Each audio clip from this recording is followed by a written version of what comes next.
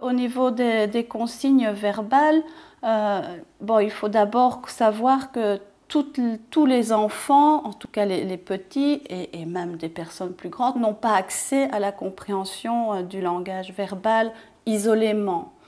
Euh, si la personne a accès au langage verbal et pour les consignes, on va essayer d'être assez bref, hein, parce que c'est ça, respecter la personne, c'est de lui donner une consigne dans une forme qu'elle comprend. Si vous utilisez des phrases très très longues avec des s'il vous plaît, euh, mon petit bonhomme, est-ce que tu veux bien on n'est pas sûr que l'enfant va comprendre. Donc on va dire, on va travailler, range, met dedans. Donc on essaye d'être assez précis, euh, d'accentuer aussi parfois nos, félicitations, nos expressions faciales pour que ce soit plus clair pour, euh, pour l'enfant. Et puis parfois on associe le verbal à du non-verbal avec euh, soit un geste, soit des, repères visuels. Par exemple, on pourrait dire donne le rouge.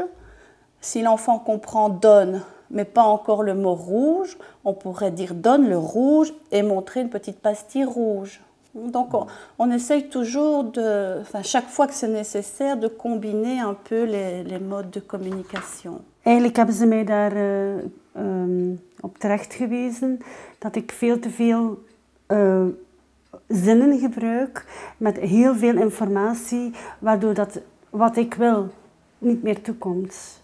Dus nu ga ik niet zeggen van, kom jongens, we gaan op stap en doen ik rode jasje en rode schoentjes aan en we gaan dan in de auto en we gaan naar de bos. Allee, ja, dan hebben ze waarschijnlijk de bos gehoord. Het, heeft geen zin. Nu ga ik echt wel zeggen, schoenen aan, jas aan, de auto en we gaan naar de bos. Allee, dus het komt kort over en het komt uh, onsympathiek over, maar moet ik niet sympathiek zijn, mijn kinderen moeten mij begrijpen. Dat is het voornaamste. Zit. Morgen ook.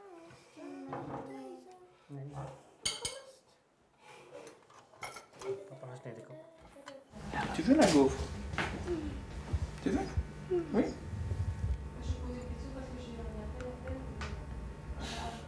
Hey. Oh. C'est bon, hein? Ça a été un, un, peu un choc pour nous, mais on, on, a, on, on, a, compris beaucoup pourquoi elle ne nous comprenait pas et donc pourquoi elle faisait beaucoup de, de colère. Donc on, a fait l'effort, et c'est pas toujours facile, mais on a fait l'effort donc de, parler moins vite, de toujours parler face à elle, hein, toujours qu'elle nous voit, qu'elle voit bien euh, ce qu'on dit, parler lentement et aussi parler beaucoup avec des gestes. Donc euh, par exemple, donc pour dire c'est bon, on fait c'est bon.